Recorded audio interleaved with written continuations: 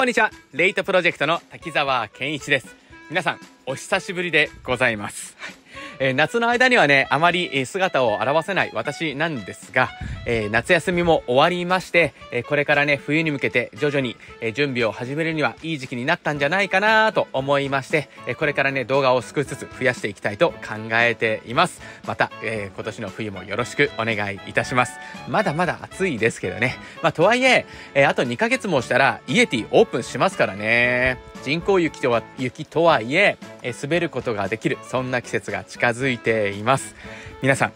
準備は始めていますでしょうか？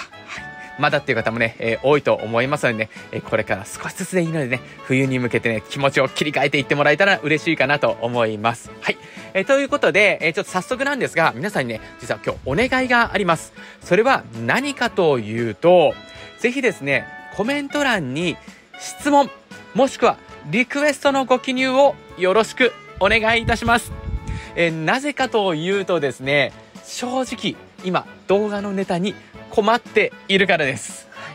まあ、どうしてかというと、この時期って正直動画の再生数伸びないですし、え見てくれている方もえチャンネル登録者の方ばかりなので、まあ、過去の動画もね、いろいろ見てくれているえことも考えると、いや、どんな動画を作ったらいいのかなって正直ね、悩ましい時期でもあるんですよね。まあ、という形で、あ、どうせなら、あ、この動画見てくれている方にですね、お願いしちゃおうっていうね、他力本願な考えで、え今回のお願い動画、作成させていただきました。という形で、ぜひですね、コメントのの方にですね、え質問、えもしくはリクエストの方、ご記入をよろしくお願いいたします。えー冬は忙しくってなかなか質問の返答っていうのはできない状況になっていますので、えーどうしてもねオンラインのスクールの方あ限定という形でねさせていただいております、えーしかしながらですね、え今の時期は比較的時間に余裕がありますので、え質問にね返答することもできる余裕がありますので、えーぜひですね、え今こそはという方はね、えーぜひコメント欄の方にね記入してもらいたいなと思います。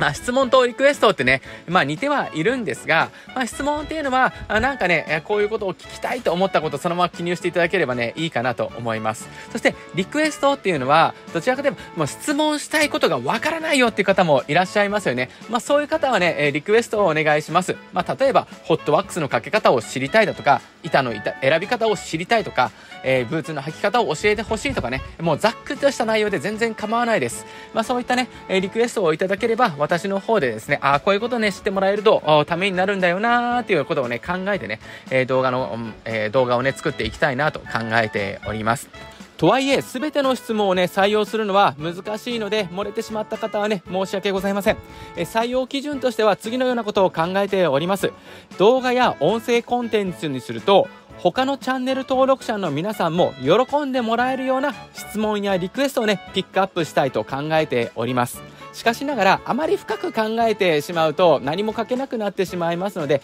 まずはダメ元でいいのでね、まあ、気軽にね、どんどんどんどん書き込んでもらえたらね、嬉しいかなと思います。まあ、早い方がね、えー採用されやすいんじゃないかなと思いますので、ぜひね、よろしくお願いいたします。はい。えーという形で、えー今回はもう見て、今見ていただいている皆さんと一緒にね、えーこれからの動画をね、えー作っていこうっていうようなね、内容の動画になりましたの。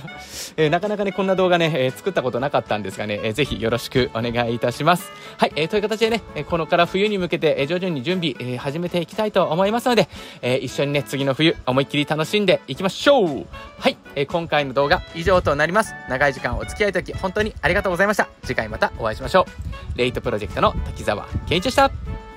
バイ